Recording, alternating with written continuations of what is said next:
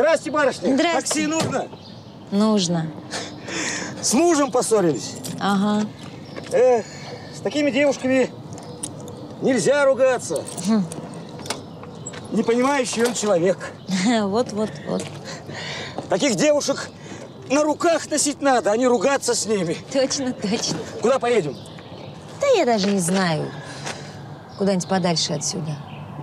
Слушайте, а поехали в ближайшую лесопосадку, а? Лесопосадку? Угу. А муж? Муж ничего не скажет?